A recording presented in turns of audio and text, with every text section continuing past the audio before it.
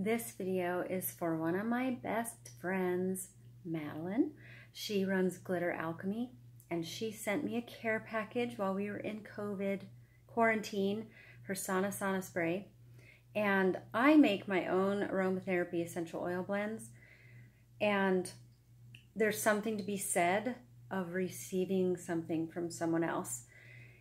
She told me how she made it. I won't give that secret away. I know that there's a her version of a Four Thieves base to it, but there's other magical things that she added. And when you receive something like this that's been infused with the person who made it for you, their energy, what they're thinking or feeling in the moment, what their intention is for you uh, when it's made, it's a completely different experience than when you make your own which is similar to, um, it has me thinking about like when you buy a card deck, like an oracle deck or a tarot deck for yourself. Uh, you can buy your own. That's a myth that you can't. Uh, it's just you communicating with your higher self. But if somebody gifts one to you, you can tap into their higher self whenever you use that deck along with yours. So it's almost like a cooperative and getting their perspective. So if you like that person's perspective, then their higher self, you can kind of tap into that. And it's their way of saying, you can invite my higher self in whenever you're using this. So that's kind of how I felt about this spray. And since I love her and her energy, and I opened this, and the moment I smelled it, I felt like this euphoric peace and joy and her sensuality that she just naturally has was in it. So it's almost like it was an aphrodisiac, even though it's also meant for protection, healing, love.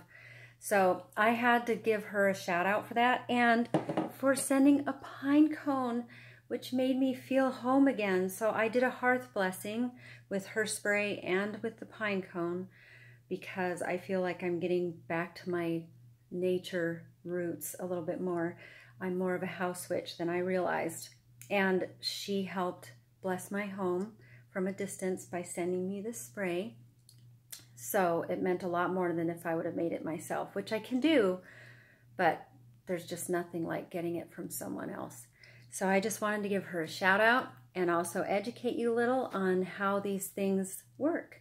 I hope you enjoyed it and think about it a little more carefully when you do purchase from other people because their energy and their intention is going to be in it. And if you buy local from someone who's handcrafting, it's going to feel so much more potent than if you buy something mass produced, I promise. Just kind of pause and tune into that. The moment you smell something or apply it to your skin, anything. Have a wonderful day. Thank you, lovelies.